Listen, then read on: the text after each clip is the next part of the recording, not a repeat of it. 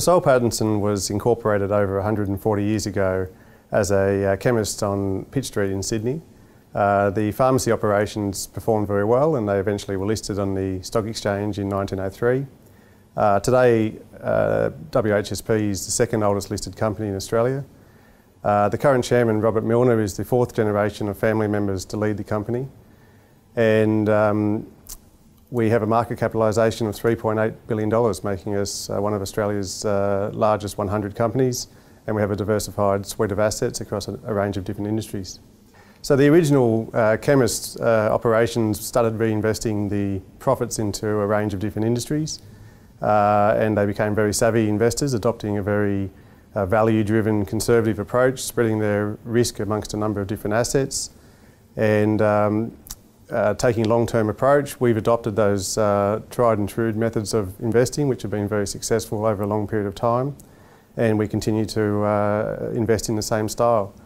Uh, once we made the investments, we tend to try to add value to those investments by encouraging them to, to grow with uh, access to capital uh, and through M&A. So if you look at some of our largest investments like Brickworks, New Hope and TPG, they've all been very successful in making a lot of very high growth acquisitions along the way.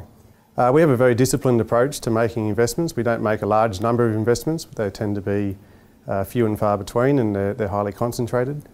Uh, we have a very active board uh, who uh, look at the, each, each new investment opportunity. Um, we build up a lot of industry knowledge. We find good quality companies with solid management and we try to buy at the cheapest possible price. Uh, we're also assisted by the fact that we have our own investment bank, Pitt Capital Partners, uh, who uh, not only uh, assist us to assess the opportunities but also assist in the generation of deal flow.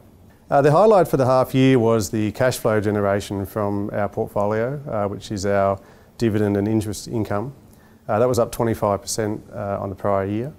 it's that figure that we look at when we declare dividends. Um, in addition to the cash generation, the, the share price and the portfolio itself uh, grew quite rapidly. Uh, for the 12 months to 31 January, uh, the total shareholder return was up 34%. Uh, in that same period, the All Ordinaries Accumulation Index was down 4.7%. Uh, so it's quite a lot of uh, outperformance in the last 12 months. Um, but despite that being you know, obviously a very good outcome, more important to us is the long-term performance of the business. And over the last 15 years, the, um, the compound annual growth uh, of the company has been 14%, uh, which is about double what the index has returned over that period. Uh, the interim dividend this year is 21 cents, which is up 5% on the previous year.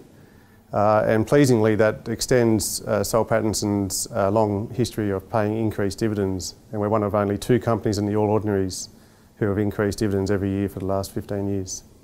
So at the end of the half, our uh, total assets uh, were 5.4 billion pre-tax. Uh, about 82% of that portfolio was in our top seven uh, major strategic investments. Uh, and then of the remaining 18%, which is roughly a billion dollars, uh, most of that is comprised of blue chip ASX listed companies, about $630 million invested in the market, which is a highly liquid portfolio and we can access that, um, that portfolio for new investment opportunities. Uh, we also have about $280 million invested in private equity and property. Well, the star performer is clearly uh, TPG. It's now our biggest investment uh, and uh, accounts for about 40% of our portfolio. Uh, when we merged our company with TPG in 2008, the combined market capitalisation was under $250 million. Today that business is worth 9.8 billion uh, and our shares were 2.4 billion. So it's been a, a very impressive journey for us. Uh, in terms of our exposure to resources, we have uh, about 15% of our portfolio in New Hope Corporation, which is uh, exposed to the coal cycle.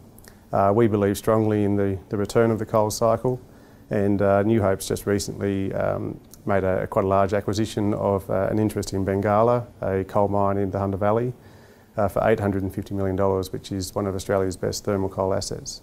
But the markets are very volatile, and as I mentioned, the, uh, we still have uh, quite a lot of exposure to the downturn in the coal cycle. Um, but uh, our other major investments, such as uh, TPG, API, and Brickworks, are growing very, very strongly, and uh, we believe that we'll continue to uh, perform in this very difficult time.